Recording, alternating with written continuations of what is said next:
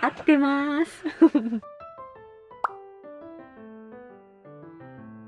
収録ではいカップ麺の話してましたけど、うんうんよく食べます？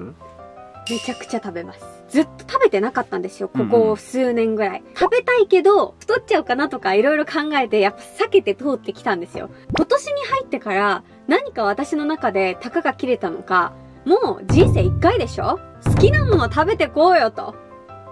で、最近食べてます。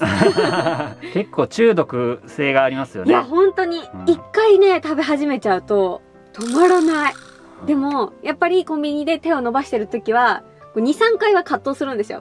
でも最近は、その今日お話しした日清食品のカップ麺の中で、低糖質、高タンパクっていうのが出たんですよ。うんで、カロリーもちょっと低くて、うんこれなら罪悪感なくて食べられるんじゃないかと、私も思い、買いだめしてます。戦略通りあ、戦略通りって感じか。確かに確かに。それで体の変化はありませんか？え、どうですか？逆に。なんか時々うんコメントとかで、なんか4ちゃんテレビになってから丸くなった気がするみたいなコメント見るんです。うんうん合ってますよ。